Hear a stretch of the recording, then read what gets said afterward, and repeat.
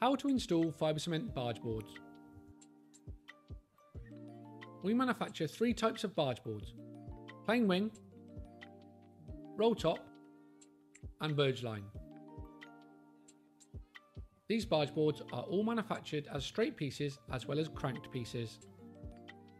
Plain wing barge boards are unsocketed and universal and are available with 200 or 300mm wings.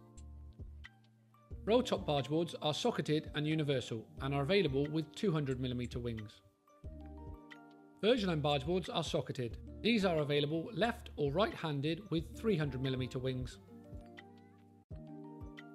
With each type of barge board, one side will extend down the edge of the slope whilst the other side will extend across the fibre cement sheet Barge boards should be positioned so that its lap is directly below the end lap of the sheets, with the top of the underlapping barge board close to the bottom of the sheet in the course above.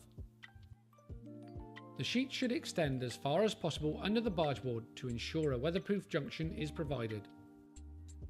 When you have placed the barge board onto the structure, the fixing positions must not be less than 50mm to the edge of the barge board. On the top side of the barge board, the fixings should be positioned at a maximum of 750mm centres.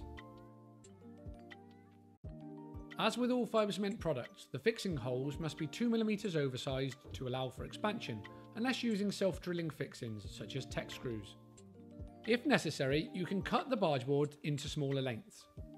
On plain wing barge boards, you can cut any side of the straight piece. However, if it is a roll top or verge line, you can only cut the side of the barge board which is not socketed.